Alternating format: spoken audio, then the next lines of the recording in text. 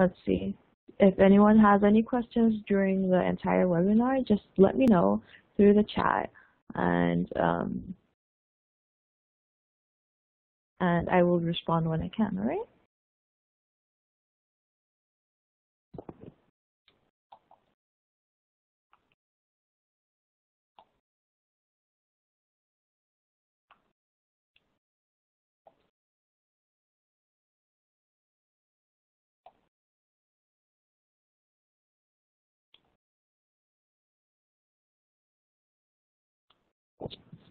Okay, we will begin and if you don't hear me again, just um, uh, just let me know through the chat or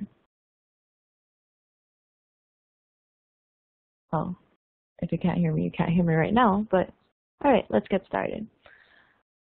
Uh, okay, I'm Baron from Ragic and um, I'll be building a really simple database to show you how it's done um, from scratch. And um, this will include um, creating a contact sheet, and we're also going to have contact records for these sheet um, for these contacts. So um, the process is actually really simple, and we're going to go through them step by step. And if you have any questions in between, just let me know.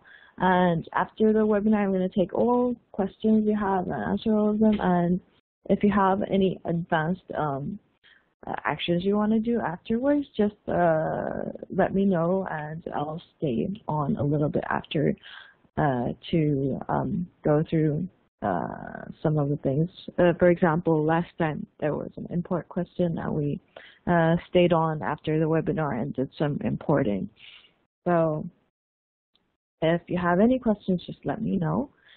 Uh, I'm going to I'm going to create a new sheet named contact. So um, to create a new sheet, I actually I'm just going to put it under the tab I have here under accounts, and um, this is just going to be a new sheet uh, under that tab. So that's how we start designing. Um, this takes us, when we create a new sheet, it takes us to the design mode of the form page. So what I'm going to design here is essentially going to be the form with empty fields uh, for me to be able to fill afterwards. So uh, from my contacts, uh, what I would need is um, their name. So I'm going to create a first name field, a last name. So typing uh, on an empty field is usually how I create um, new fields um, typing on an empty cell. Uh, some people like to drag and drop these, uh, which is also fine. Uh, let's do that for, uh, let's say, another field like um, address. Since this is a contact sheet, it's kind of like my phone book or address book. So um, you can also change the field type over here. There are many to choose from, but you don't really have to worry too much about what each of these do. Uh, if you have something specific, you'll just see it there. Um, if not, then uh, free text usually uh, works fine. If you have uh, numerical fields that you need to reference for formulas, that's also uh, this one. So uh, the most used ones are free text selection, which is um, some options that you can determine, and then also the numeric one. So I'm going to uh, change this to an address one, and move on and create a new field called phone number. So yeah, basically um, just designing the form is um, typing on empty cells to create new fields. If you have any questions so far, just let me know. Um, okay, uh, as you can see, when I typed phone number, I didn't change the field type this time. It changed on its own. Uh, sometimes Ragic does that uh, depending on what you're typing in here. Um, so if, if that doesn't fit what you're trying to do, you can just change the field type manually afterwards. And uh, yeah, that's all I need for my contacts um, right now. So I'm going to save this and it will um, take me to, when I exit this, an empty form. So uh, this is basically the first version of my form for the new contacts and I'll create a record in here. Uh, we also call that entry. So record our entry. So I'm going to create a Peter Parker and 20 Ingram Street and just put a phone number, random phone number for Peter Parker. Okay. So as you can see, this is my first record in this um, database sheet. So a database sheet is just what I just created. It's the contact sheet. And this is a record under the contact sheet. If I add a new record uh, under the contact sheet, it will be saved as a separate record. Again, I'm just putting a random phone number. Save. So this is saved in the database as well. But if you want to see all of the records, um, you can go back and click this back button, and this will take you to a listing page. So the listing page is um, lists out all the entries um, in your database. Um, it's defaulted to show 25 entries per page, but you can change that um, over here. So you can display more, but I, I still recommend showing 25 because there are pagination tools that will show up here afterwards. Um, so the good thing about this um, listing pages that you just uh, see all of your records in the summary. So you can choose to display less columns here, or you can search for entries here, and it's way, very uh, just very easy to um, organize your records in this way. So any questions so far? That's uh, just a basic way to create a new database in um, Ragic, and we will add contact records to this in a bit. No questions? If you have any questions, just hover on the window, uh, and there's a button in the middle for the chat. And just feel free to let me know. All right, moving on. Uh, I will create a contact record um, subtable for each of these contacts. So what that means is, uh, for example, I need to contact Peter Parker. And for example, let's say I have more than one contact point with him and I need to record all of them. Uh, in some cases, you can just use the comment server here. Um, you can just comment whenever uh, there's a new thing, for example.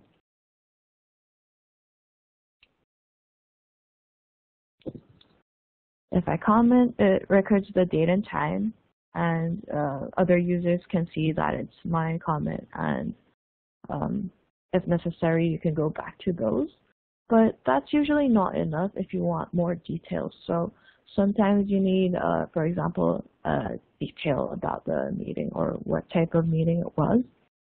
So let's change the design and add something to record that. Uh, what I'm going to do is a, a subtable. So um, contact record. Let's say I need to note down what the contact was about, but I need multiples of these. So what I'm going to do is create a subtable. So creating a subtable is essentially um, uh, lining up uh, fields right next to each other. So I'm going to ignore this place where the value would be if this was a standalone field. And I'm just going to click here and create a new field called, let's say, date and time. And I'll choose the format for date and time. Uh, you can see that it um, kind of made uh, the value of the contact record uh, shift downwards. And you can see that there are uh, three empty fields below this, but that will expand as you add new entries inside this subtable. So this is what we call a subtable. And if you want more fields, for example,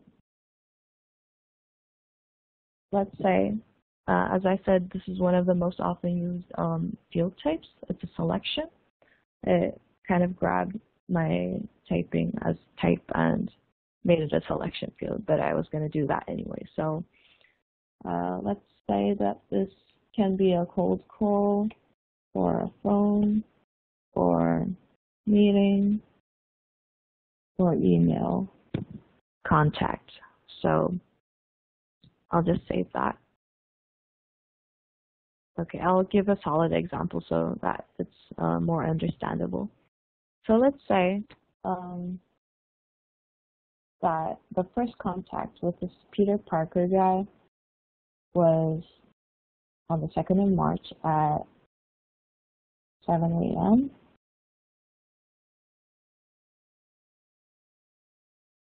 Uh, in a cold call. And then he arranged a meeting on the 4th of March at, let's say, 15 which is 3 p.m. for you Americans. And it's a meeting. So you can um, add more to this uh, to have more contact records if necessary. And you can see uh, I changed the design of one uh, one of these records, but uh, when you change the design of the form, it's going to affect all the other forms.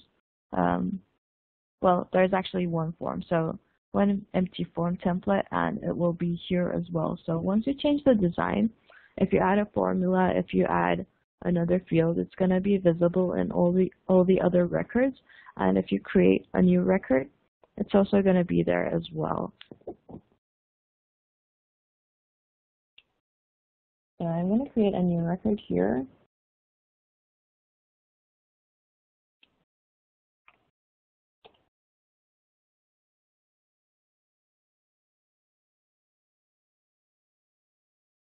uh, let's say that we're having a record of her as well uh, through phone. And let's say that. Uh, so what happens here is if, if you want to search for um, within that subtable, because um, since there can be more than one entry in a subtable, like how we have multiple contact records for Peter. Um, we can't really display them in the listing page. But what we do is in the listing page, um, you have this left sidebar where you can search for um, entries within the subtable as well. So if I had searched for phone within the contact record in the left sidebar, um, it will show me the entries that are associated with um, that one text over here. So, uh, for example, since I have a selection field here, I can select multiples and search for them. And it will show me the two associated um, contacts. What happens if you have duplicate records? Is there a way to prevent? Yes. Um, actually, Alyssa, thank you for that question. Um, there is a way to prevent having duplicate records. Um, I actually don't really, um, as this is a very basic example, uh, I started my form with um, a name and a last name. But usually, uh, what people do with, um, yeah, people, uh, is that they keep their records in under one unique record. So Gwen Stacy is her name, but there may be more than one Gwen Stacy's in my database. So how do I know if that's the same person or not? So uh, people have the same names, you know that. And uh, if, for example, you go by uh, collecting their phone numbers first, uh, I would definitely recommend uh, like an email or phone number. But if you don't want a record to be entered twice, um, you can mark them as unique. So let's say that I um, marked Gwen's uh, phone number as unique. Um, sorry, a contact, not just Gwen's. Uh, if I change the design of one um, one field to be unique, then it will only accept that one phone number um, once. For example, if I copied this and created a new record called, let's say, Mary Jane Watson with the same number. Now what happens? Um, if I try to save this, Ragic won't allow me to save it, saying that this uh, phone number is already in the database. So that's one thing that you can um, set uh, to ensure that um, you don't enter the same thing twice. And the unique also uh, counts towards the import. So if you were importing the record, uh, Ragic would just skip uh, the duplicate. Does that answer your question?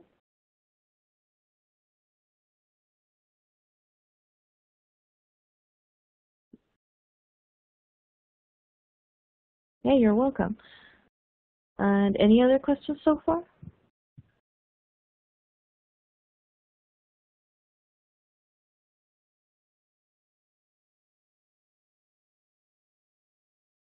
No, no questions? All right.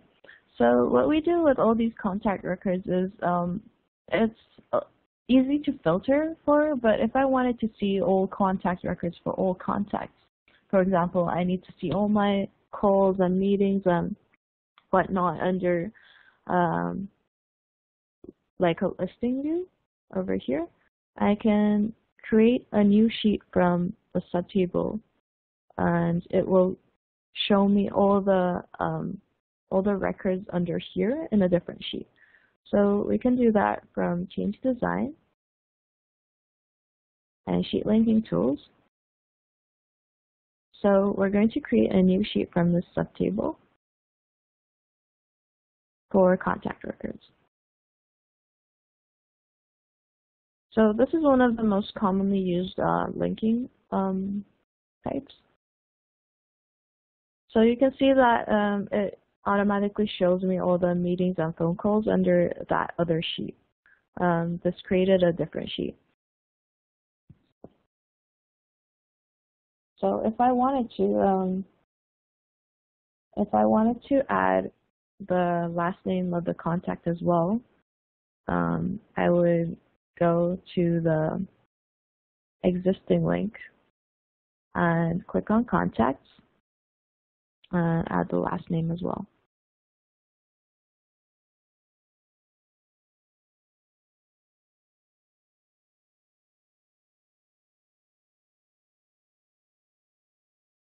So if I added a new contact record under the subtable, it will still automatically show up under here. And that's the most basic way of using subtables and uh, displaying the subtables in another sheet. All right, any other questions so far?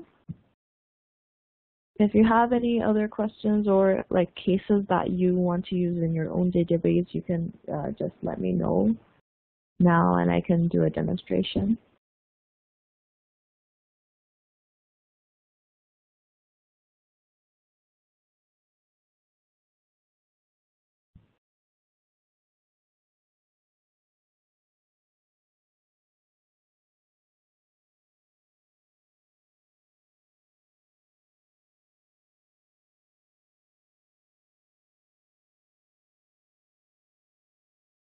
No other questions? All right, well, I know this is a very um, quite simple as an approach to uh, create your database, but basically it's either creating um, your form uh, from scratch, or you can also import um, the data you have already on a spreadsheet and let Ragic create a new database sheet from that data.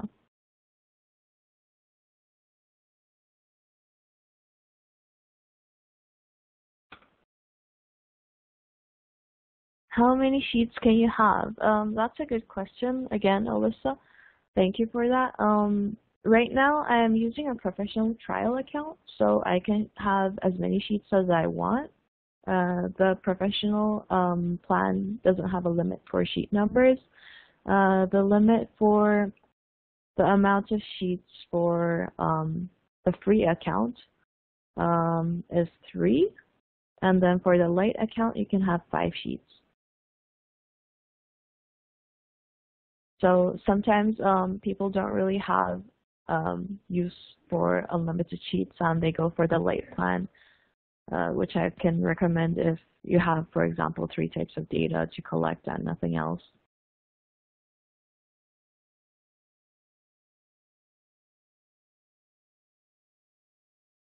A static field entry. Um, can you tell me more about what you mean by that?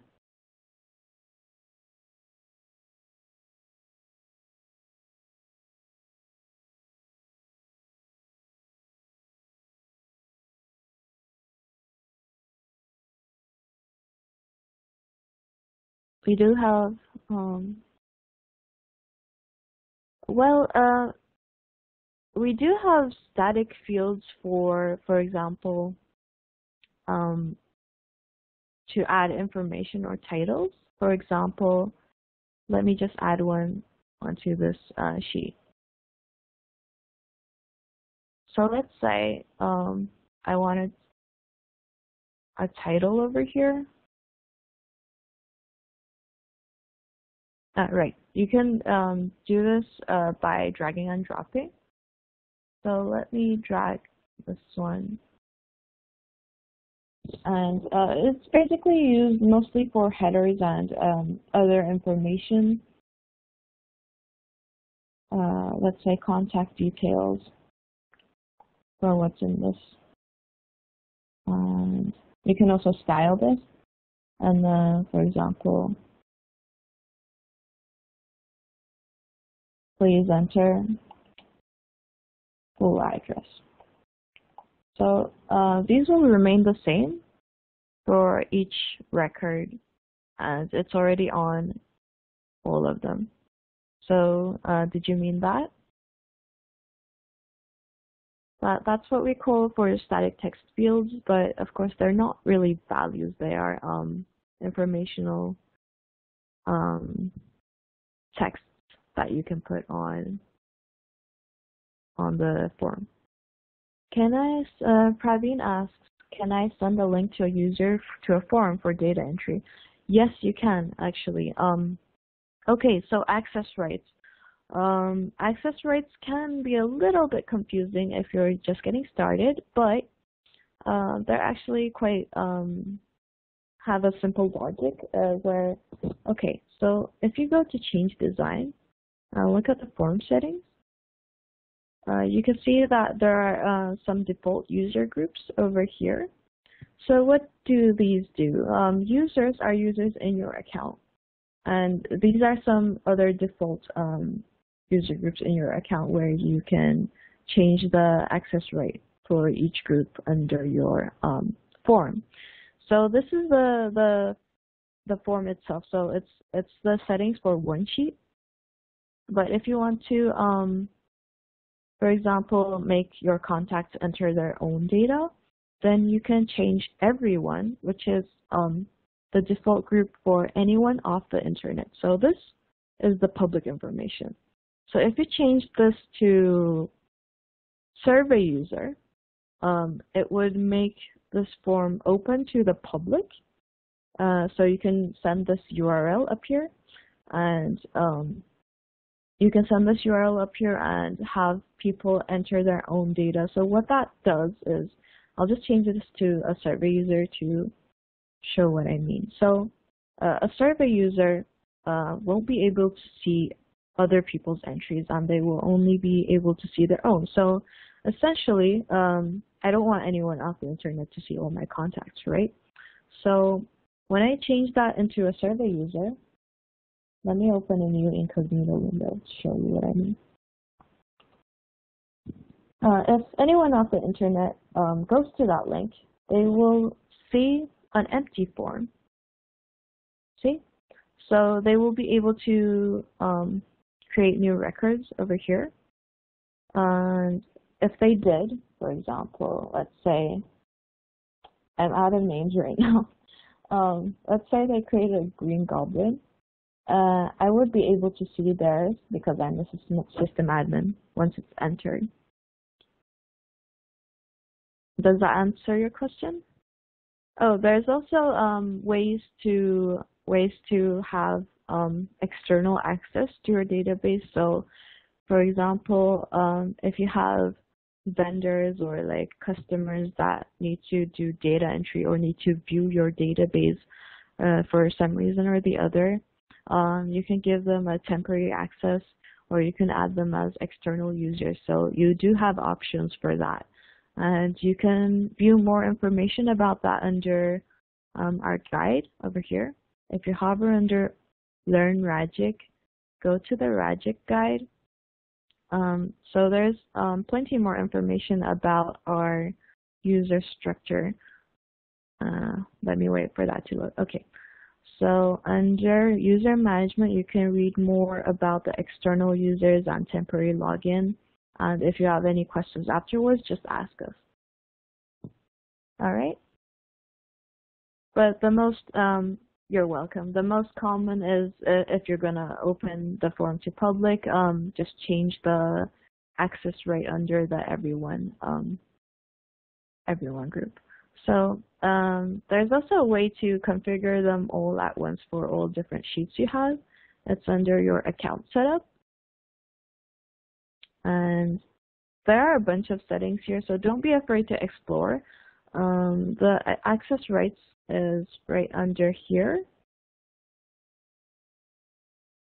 So you can see all user groups over here and um, the uh, all the users' rights are under here. So if, if it's empty, they don't have any rights.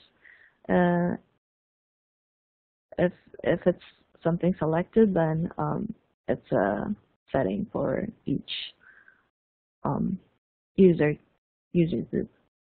And if you look closely at the access right setting table over on this link, uh, it will show you how it's kind of configured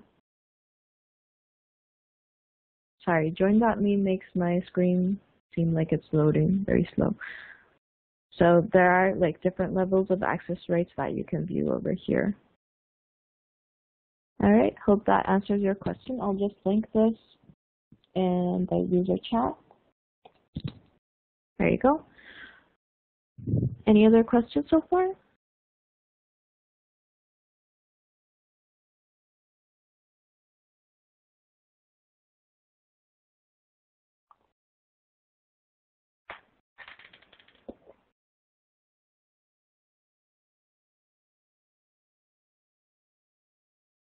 No? Viewer 5, did I answer your question about the static field?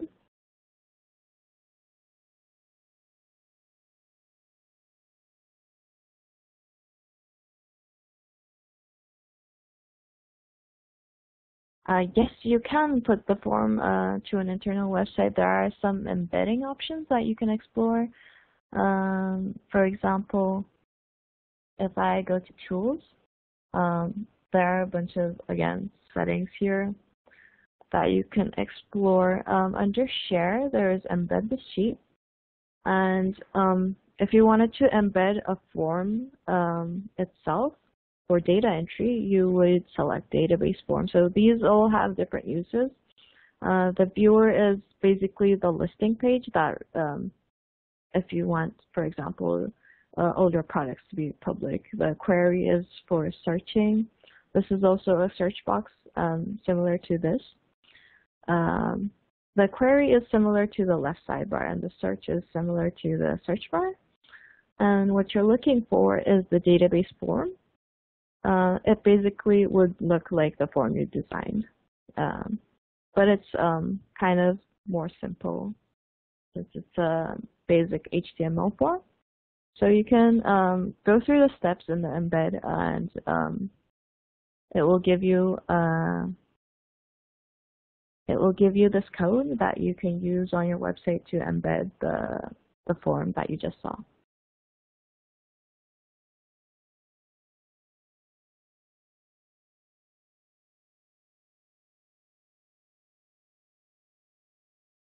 Does that answer your question? No problem. All right. Um, I'm taking other questions. If you have any um, other advanced design questions, I can answer as well shortly.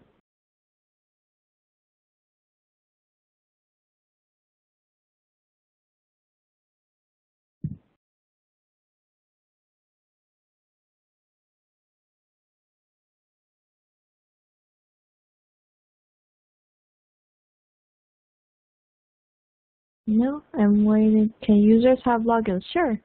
Um, you can add users from, again, your account setup. Uh, so you have uh, different users for the same account who have different access rights according to what we just talked about. Um, so you can add them to different user groups.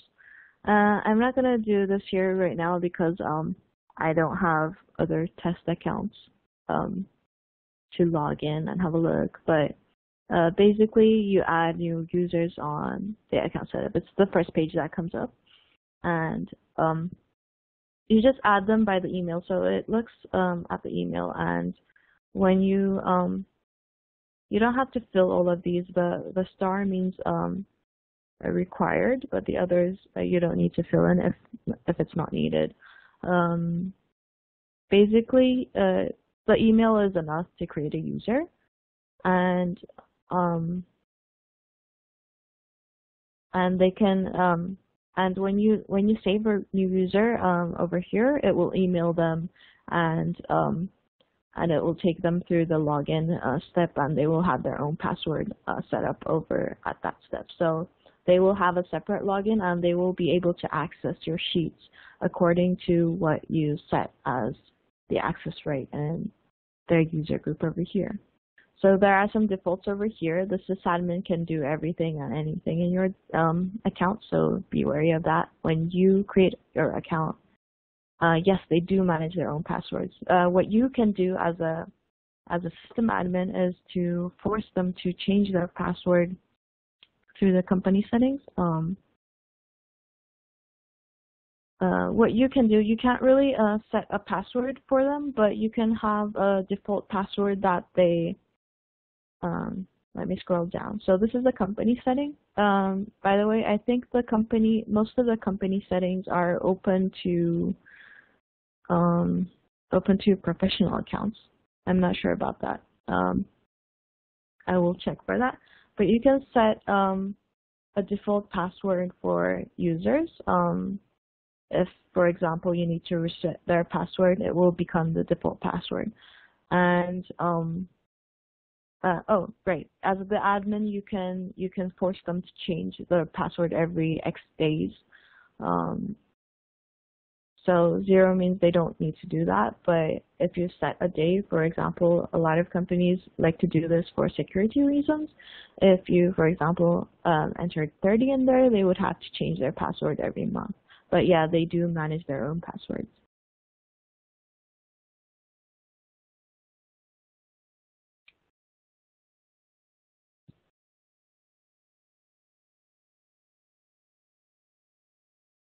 Any other questions so far?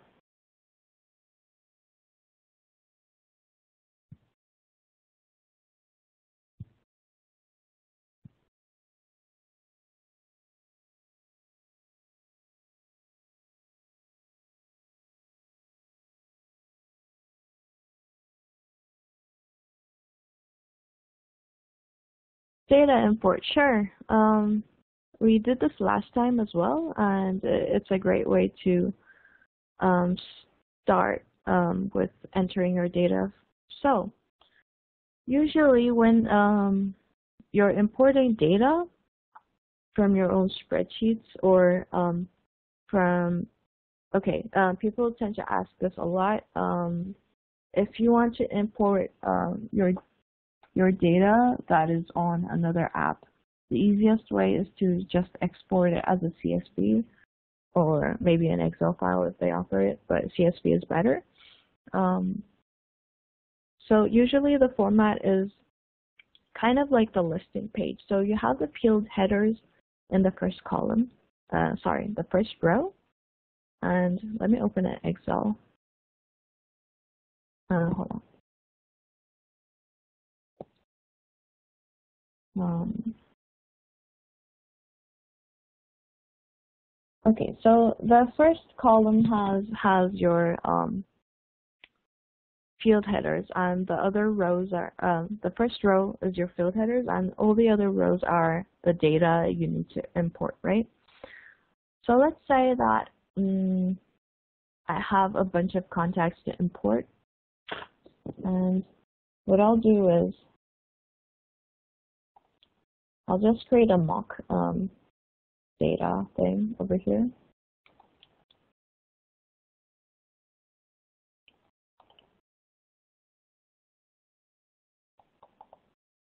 So the, um, in your import file, I mean, maybe you already have this or maybe you need to create them um, on your own. But uh, usually it starts with the first row as the field headers and the other headers as names. For example, John. I'm just going to create a couple entries.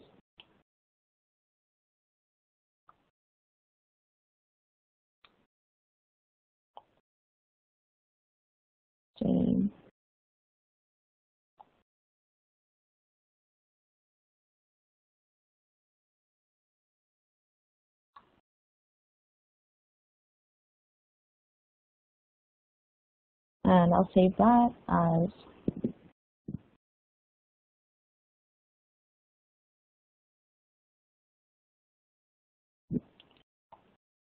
as import dot CSV. I mean, Excel also works, but I usually like to use CSV. And I'll save that. Okay, continue. So that's saved. And if I wanted to import into here, I would go, let me wait for join.me to catch up. Okay, to import, I'll go to Tools and Import Data from File. And as you can see, it's saying um, the same thing that I just did. So the first row needs to be the field headers, and the other rows are all the entries. Um, so they will be recorded as like separate um, records in Ragic. So I'll choose the file I just saved. Is it this one? Yes. Um,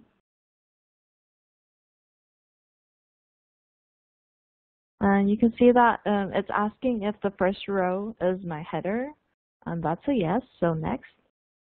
And um, it's asking uh, if the, so this step is the most important while you're importing. Um, it's asking if all the, all the um, columns are mapped to the correct field. So if it's not, then you should um, uh, select the correct field that it needs to map to and currently it's correct, so I'll say next. Ah, right. This will, um, since I I um, marked the phone number as unique and they have the same phone number, this uh, goes to Alyssa's question about um, doing a duplicate. So um, since I set it that way, I mean it will skip um, my second record and only import one of them. See? Because the phone number is in the database. But if I change the phone number, it would not have skipped. So it only imported one record from here. So that's basically how you import data. Um, of course, um, if I didn't have the same number, they would both be imported over here. Does that answer your question?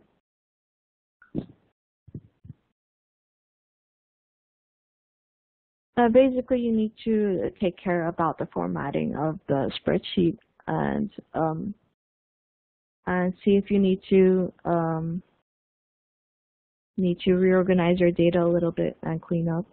Exporting. Exporting is easier. Um, it's just tools and then download as um, Excel or the text file means a CSV. So exporting is just that. If I downloaded this as a CSV, uh, it will ask me if I want all the fields or all my fields on the listing page or some select fields. Oops, kind of looking broken on join.me. Um, and you can um, select the number of entries you want to download, but um, usually um, if you want to export everything, you just um, select these two. And um, just a note here, uh, since the subtable um, can have more than one entry, it's not going to export the subtable at all. This will just uh, export the standalone fields that I have. So if I exported this,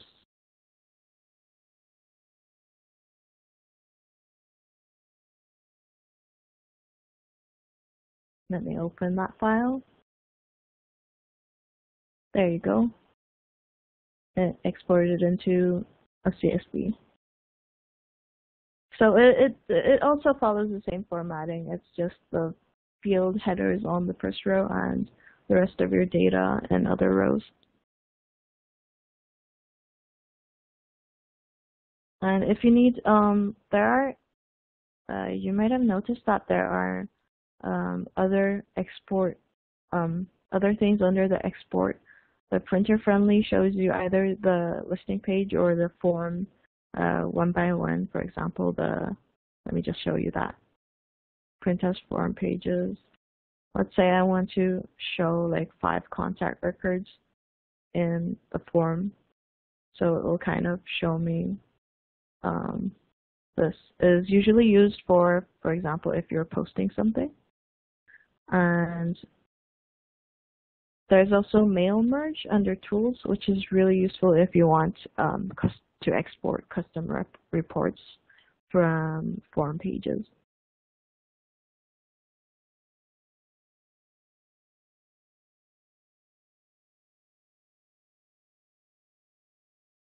All right, I'm uh, nearing the end of the webinar time, but if you have any other questions, just let me know.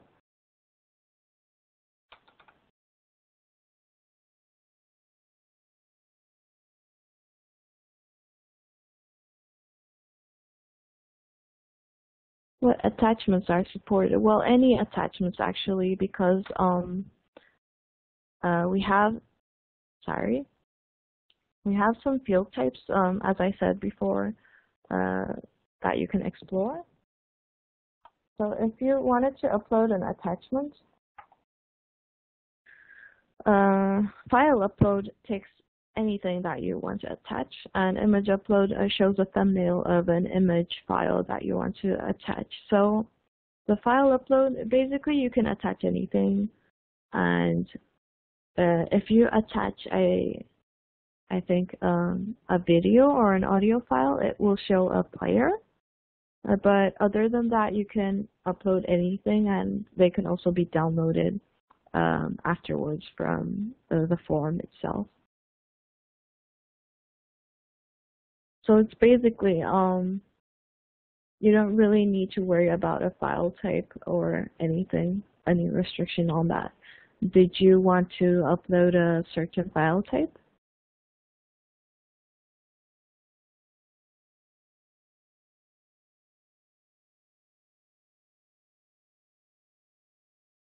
Documents, all right. Well, um, uh, one thing about documents is um, Ragic can, of course, you can upload into this, and Ragic can uh, search for the content within your documents in the top search bar here. Uh, so that's one thing to consider. So if you upload, for example, Excel files or Word files or PDF files, uh, I believe, uh, when you search for the content within those documents that are uploaded, you can do so through the top search bar, and it will uh, filter or show you the uh, entries related to that um, file. So that's something really useful if you have, for example, legal documents that are very long that you need to search the content for. Um, we also have, oh thanks, uh, we also have a Dropbox integration under our um, templates over here. So that's one thing you might want to explore as well. Um, if you need more information, I can send you the link, actually. Um, you can have a look at this page, just scroll down and um, view more information about the Dropbox integration we have. And um, all right, last questions.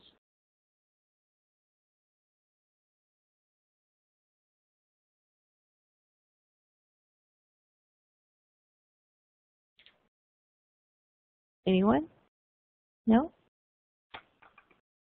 Okay, well, if you do have any questions or if you get stuck, for example, while designing, because I, I showed you only one type of linking on this uh, in this webinar, and um, there's uh, it's also possible to, for example, create a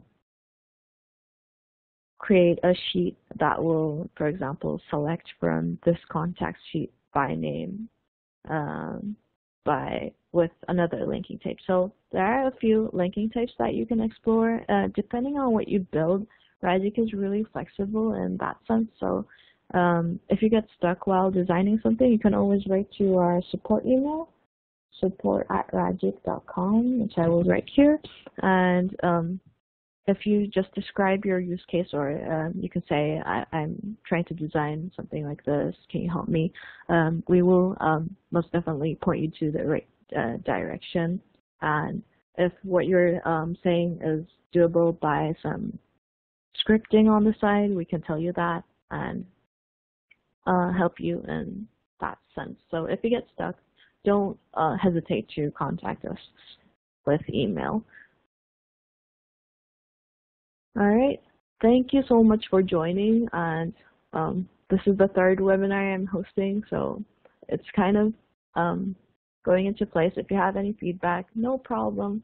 Uh, if you have any feedback, just let me know, please. And I did record this one. I didn't forget this time. So uh, if you need a recording, just um, email me at ragic.com and I will send you the video um, when it's ready. And if you have any other questions, just please don't hesitate uh, to email me as well. But um, support will probably um, answer faster. All right, thank you all so much for joining. Um, all right, I'll be ending the webinar if nobody else has any questions.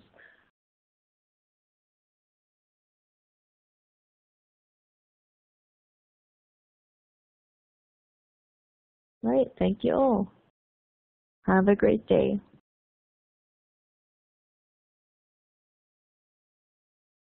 Bye.